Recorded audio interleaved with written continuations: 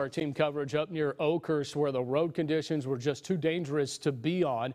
This is Highway 41 near Sierra Sky Ranch. It was since been reopened earlier today. It was absolutely shut down. Car after car was told to turn back around. Our Pedro Quintana shows us how this latest storm was wreaking havoc up the mountain. Well, many people were prepared for this winter storm by bringing up snow chains, but they were quickly turned around by CHP because of these dangerous road conditions. Several vehicles, approximately 100 vehicles over out on the roadway. One by one, families heading to play in the snow were forced to go back home. This winter storm wreaking havoc on the roadways. Slick roads, wet roads, uh, snowy conditions, so that's causing hazards, and we're trying to clear them as soon as we can. The California Highway Patrol closing Highway 41 near Oakhurst for several hours as they responded to vehicles sliding off the road.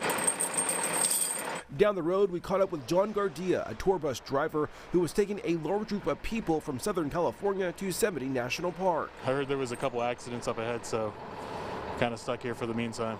Others making do and just pulling off to the side of the road to enjoy the snow. It's perfect. Yes, we like it.